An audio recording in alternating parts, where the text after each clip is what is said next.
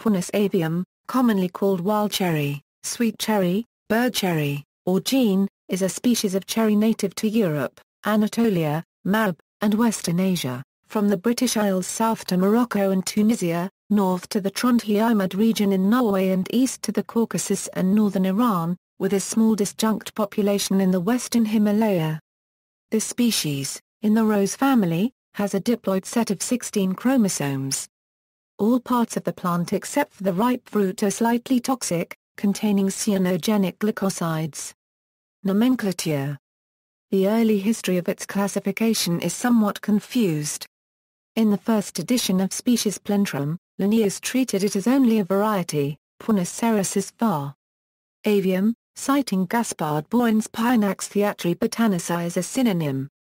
His description, Cerasus racemosa hortensis shows it was described from a cultivated plant. Linnaeus then changed from a variety to a species Prunus avium in the second edition of his Flora Suecica in 1755. Sweet cherry was known historically as gean or mazard, until recently, both were largely obsolete names in modern English.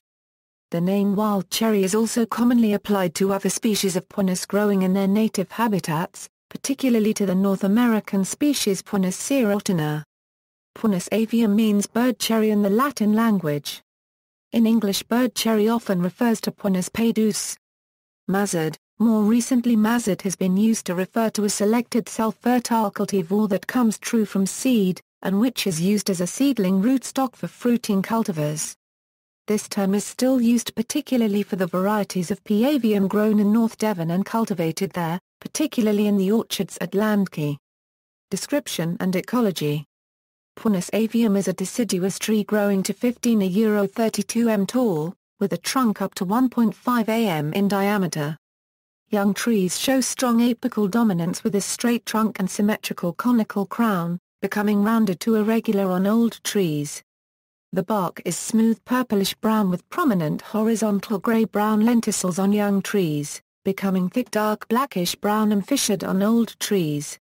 The leaves are alternate, simple ovoid acute, 7 a euro 14 a cm long and 4 a euro 7 a cm broad, glabrous matte or sub-shiny green above, variably finely downy beneath, with a serrated margin and an acuminate tip, with a green or reddish petiole to a euro 3.5 a cm long bearing 2 to 5 small red glands.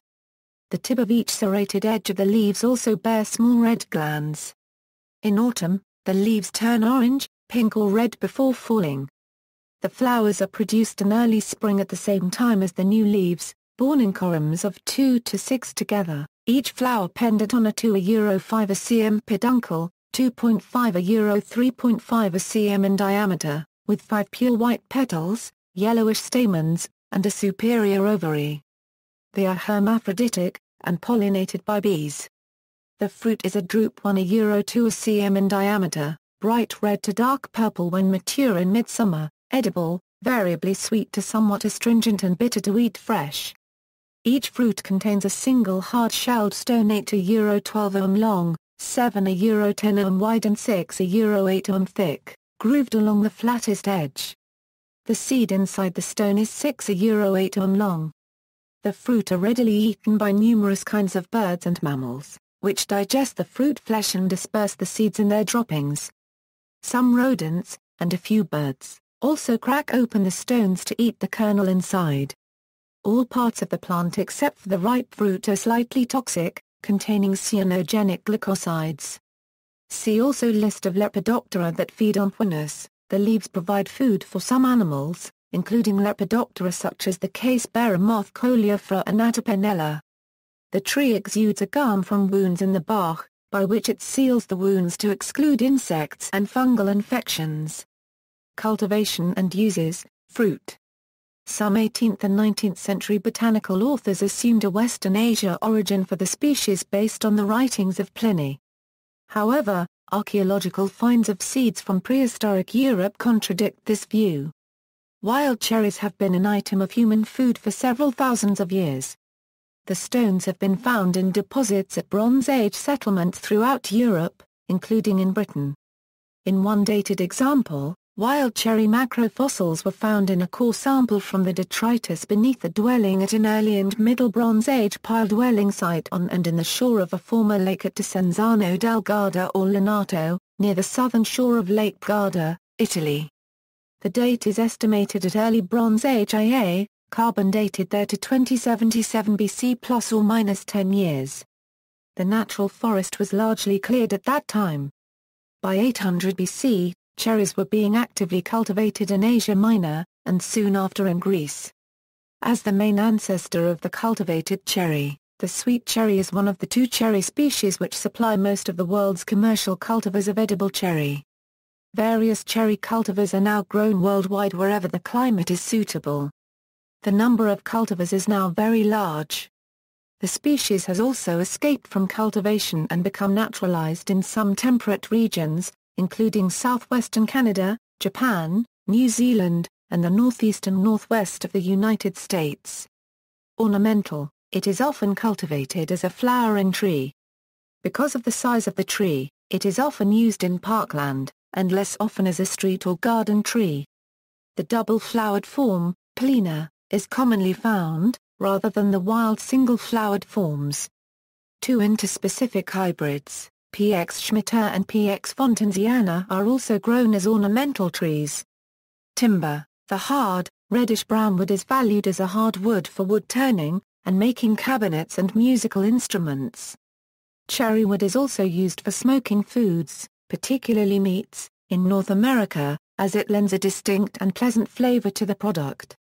Other uses, the gum from bark wounds is aromatic and can be chewed as a substitute for chewing gum. Medicine can be prepared from the stalks of the drupes that is astringent, antitussive, and diuretic. A green dye can also be prepared from the plant. Contribution to other species Prunus avium is thought to be one of the parent species of Prunus cerasus by way of ancient crosses between it and Prunus fruticosa in the areas where the two species overlap. All three species can breed with each other. Prunus cerasus is now a species in its own right having developed beyond a hybrid and stabilized. Cultural history, Pliny distinguishes between prunus, the plum fruit, and cerasus, the cherry fruit. Already in Pliny quite a number of cultivars are cited, some possibly species or varieties, Aproniana, Lutetia, Caeciliana, and so on. Pliny grades them by flavor, including dulcis and acer. He goes so far as to say that before the Roman consul Lucius Licinius Lucullus defeated Mithridates in 74 BC, Cerasia non-fuere in Italia, there were no cherry trees in Italy. According to him, Lucullus brought them in from Pontus and in the 120 years since that time they had spread across Europe to Britain.